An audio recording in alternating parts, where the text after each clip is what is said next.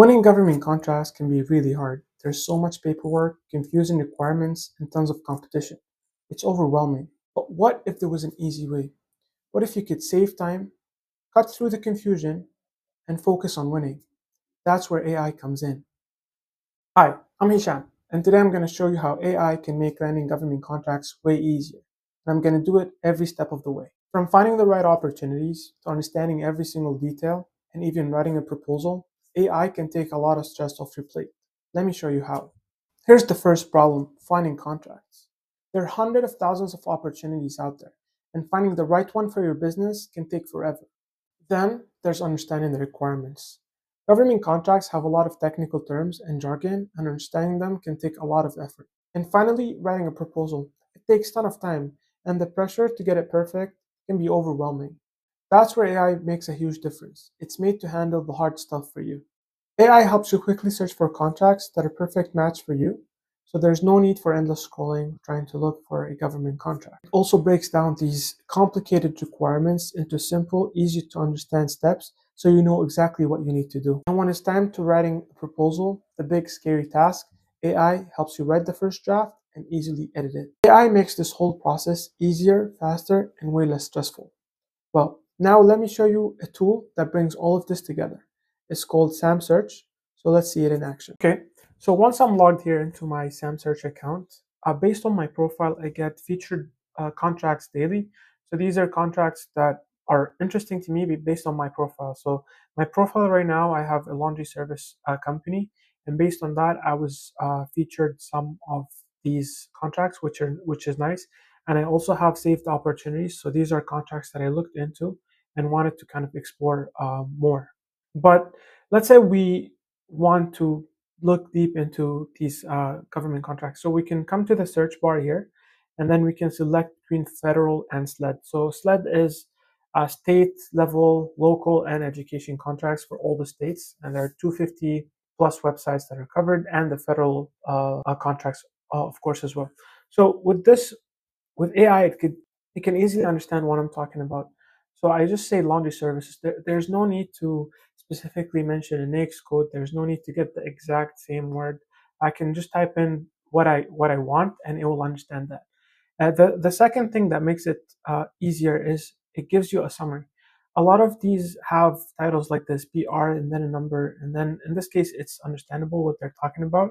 But in a lot of cases, it's a lot of jargon in the title, so you have to click through it, go to the description. With this, I'm able to see uh, AI generated summary.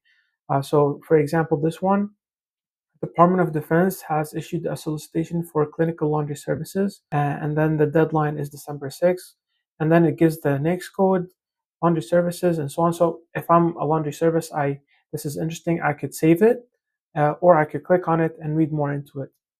Uh, we here we have the AI generated summary, and then we have all the details laid out in an easy to understand way. And then we have the description and the attachments. Sometimes these solicitations have a lot of attachments, and, and so you have to review all of them. Uh, but the good thing about uh, SamSearch is you can come here and click on chat. With this, you'll be able to ask a question about all the attachments and description, and it will give you exactly answer with a source. So for example, if we ask, what is the deadline? So we get back that the deadline is December 6th. Let's say, for example, we can ask what are evaluation criteria.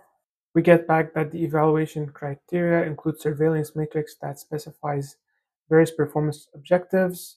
Uh, we get delivery pickup, transportation of items, processing clean linen, packaging services, documentation maintenance, uh, labeling services. So it covers uh, specifically what the evaluation criteria is. For example, we can ask what are the requirements. So we get back hygiene certifications, scheduled services, general responsibility, obviously with a the source, so where this is coming from. There's also uh, the pickup schedule, special handling, approved packaging and labeling. So you get a summary of the main requirements. So let's say, uh, is there information on pricing and budget? In case they have that, we want to know what we should expect for pricing and budget. Okay, so we get information of some of the key items listed. So shirts, 14,000 units, trousers 14,000 units, sheets, beds. Uh, this information can assist bidders in formulating their pricing proposal. Uh, however, there are no specific dollar amounts mentioned for pricing. So we, we are given the units and based on that, we have to give them our best price. So now I automatically know what to expect, how big this job is from the amount of shirts, hand towels, sheets, and so on. Uh, and then we could ask something, for example, like, um, what's the timeline milestones?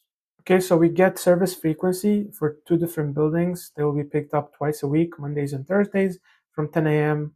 Uh, yeah, between 10 a.m. and 11 a.m. And then no service days. There are no service days.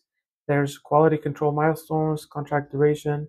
It's it lays it out easily. Now we can ask something like generate matrix of compliance. And now it's generating a table with the matrix of compliance. So you know exactly what you have to have in your uh, proposal. So as you see in a few minutes, we were able to get all of this data that kind of gave us a solid information, solid idea of what this opportunity is about with no need to go through all of these long documents. Well, now we're ready to submit a bid for this. What we can do is we can click on generate and then here we can generate an outline.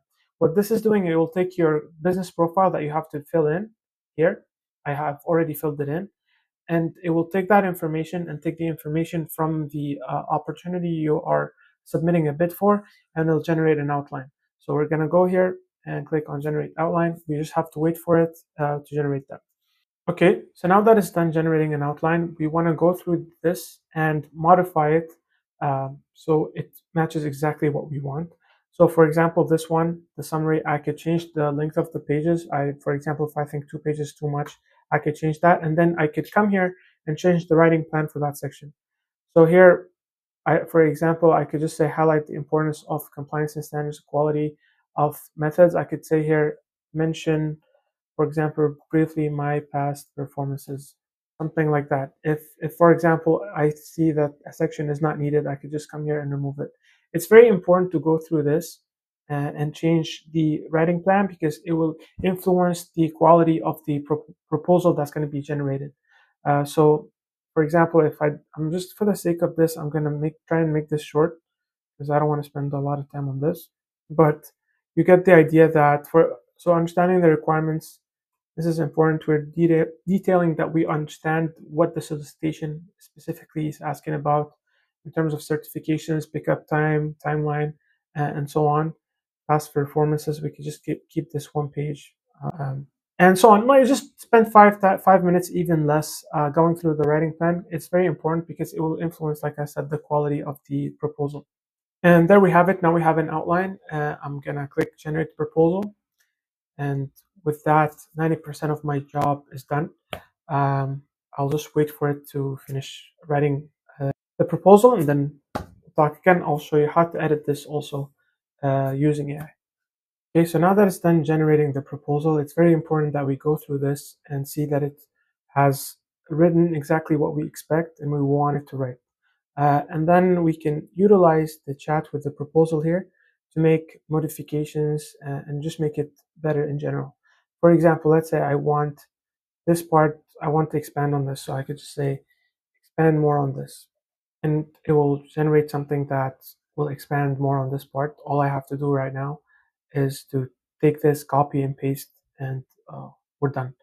Uh, for example, I could say, well, it's expanding a lot. Okay, I could say the exact opposite. For example, I can come here and say, uh, for example, for this, make this shorter. And you, you can obviously ask it more significant uh, stuff. So you could say, uh, for example, mention uh, this specific past performance I had uh, in this paragraph, uh, something like that. It just makes it easier for you to edit this. Um, and then once you're ready and you, you are confident with the quality of the proposal you have, you reviewed all of it, all you have to do is come here and click on download and it will be downloaded as a Word document that's ready to submit. One more thing I want to mention for these examples, I usually do laundry, I, I, do cleaning, I do stuff like that just for the simplicity. But we have all government, con- all federal government contracts and all state government contracts as well. We have 250 plus uh, websites covered in our database. So uh, no matter what your niche is, you will find government contracts for that niche. I hope this was helpful. You can get a seven day free trial of SAM Search, link in the description below. And if you like the video, please thumbs up and subscribe. Thanks for watching.